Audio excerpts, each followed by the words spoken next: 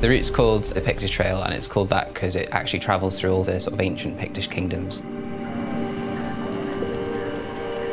So right up from Dunnet Head, which is actually the most northerly point of the British mainland, down to Edinburgh. I guess this route came about by trying to link together stuff that we already knew was good, but also creating a route that went to Edinburgh because Glasgow is a really popular place to start a read from, but there's nothing to Edinburgh. And we kind of thought that was a bit of a shame.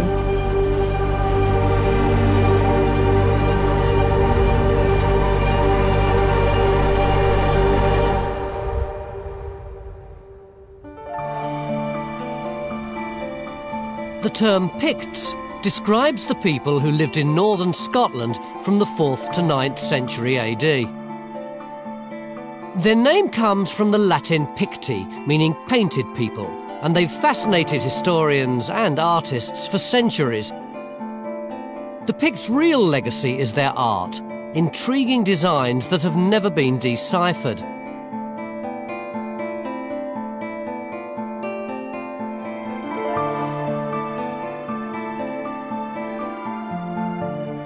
So we've made it all the way up north. We're at Dunnet Head, which is the most northerly point in mainland Britain. And behind me is the lighthouse. And uh, it's a lovely morning, so behind that you can see lovely views out to the Pentland Firth and the Orkneys, and it's just majestical. You can see so far today. So yeah, it's time to start riding south and maybe find some better weather.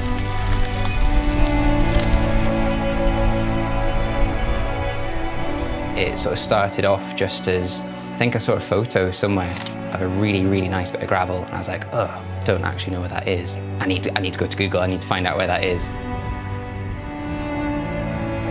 Found out where it is. Right, I need a ride that incorporates that bit of gravel.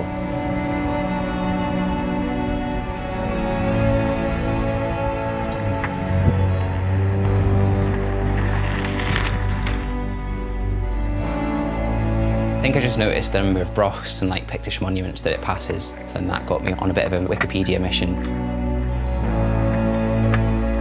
You just sort of like start following a thread and ended up realising that actually it traversed this whole kind of kingdom that's not a lot is known about.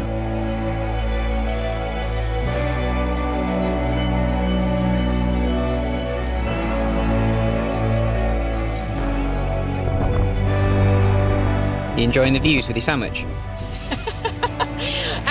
Was really looking forward to this bit because there's some really cool views, but uh, not today. And um, I quite like the mist though because it's kind of spooky. And I was riding along and he was somewhere behind me talking to himself and I could just hear this like voice floating along in the wind. Yeah, it was kind of cool.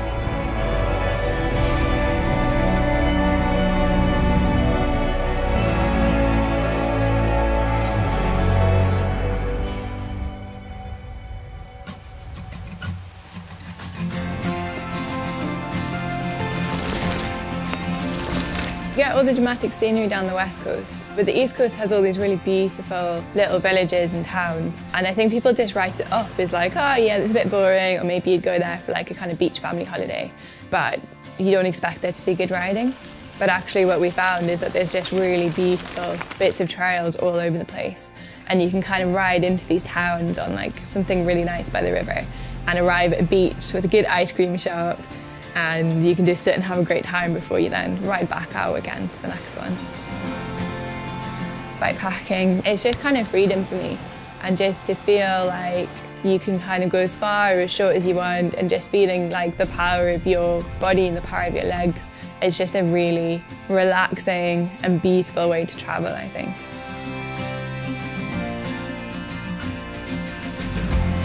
I think, especially on a route like this, the main one is kind of curiosity love technical single track, but I also love journey, and especially if that journey's got something that you're looking for, like if you're actually excited to see if that bit of trail actually works, or just to see what the view's like from you know, a different side of the mountain that you've been on before.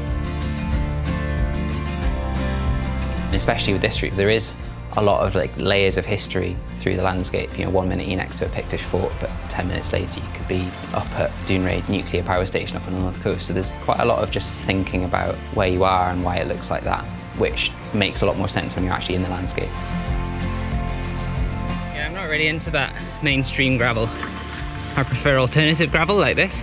Although we're in Scotland and gravel's not really a thing anyway. Anything that's not, or between tarmac and single track is like, ah, we'll call it gravel.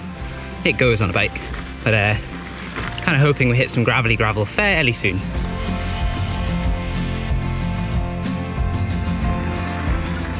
One thing you definitely learn along the way, even if it takes a few repeated lessons, is that if you're feeling sad and feeling a bit down and getting grumpy at each other, it's probably not the weather, it's probably just because you need some snacks. And it's mad how, you know, at one point we were ready to just pack the whole thing in. 20 minutes later, you're feeling absolutely 10 out of 10. I think you learn to trust that it'll get better around the corner. It probably doesn't need much to change it for you.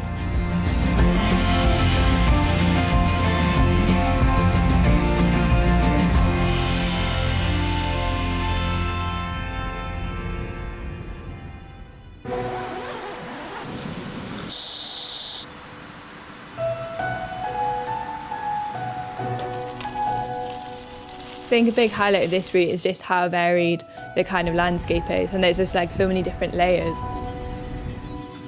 The far north of Scotland, where you've got all the different Pictish kingdoms, you've got the remains of the brochs that were built then. What were amazing kind of domed structures, two layers of walls and passageways between them.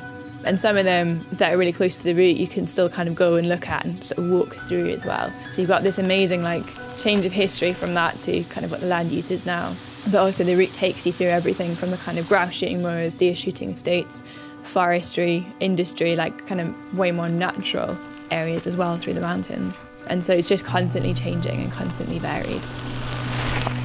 Uh, this is probably the stinkiest climb on the whole route. So this is the Fungle Road. Oof, it's a grindy old climb, and we'll end up about 600 metres, so get a good facial from the wind.